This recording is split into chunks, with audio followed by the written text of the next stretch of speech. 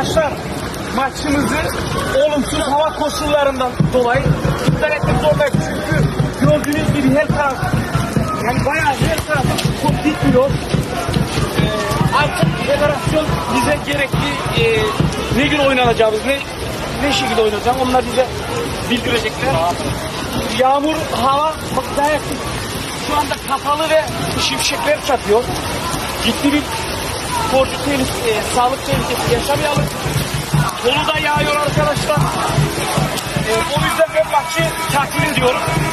Artık federasyon bizlere bildirecek arkadaşlar. Gördüğünüz gibi bu şartlarda